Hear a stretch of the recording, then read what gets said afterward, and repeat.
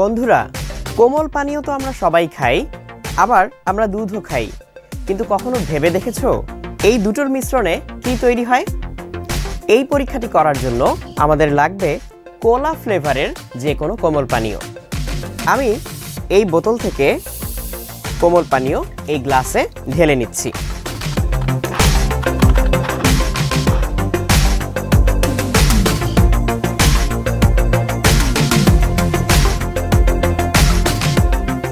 আমাদের মোটামুটি আধ গ্লাস পরিমাণ হলেই চলবে।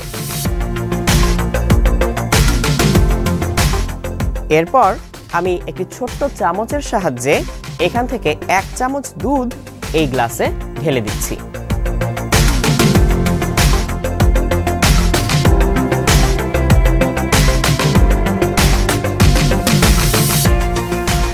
এভাবে মিশ্রিত অবস্থায় আধ ঘণ্টা রেখে দাও, তারপর দেখো কি হয়?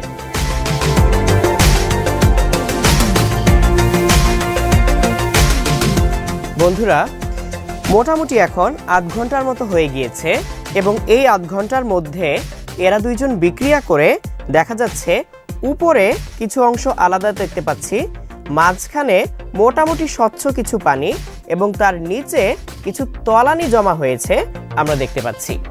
এই তলানিটা আসলে কিসের?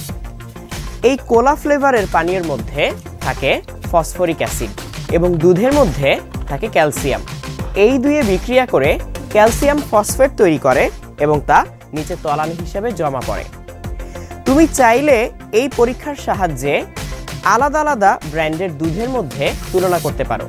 বাজার থেকে তুমি আলাদা আলাদা প্যাকেট দুধ কিনে এনে এরকম করে কোলার সাথে মিশিয়ে যদি খোলা পাত্রে আলাদা আলাদা করে রেখে দাও, তাহলে নিচে তলানি কতটুকু জমলো সেটা দেখে বুঝে ফেলতে পারবে কোন দুধে বেশি ক্যালসিয়াম আর কোনটায় কম।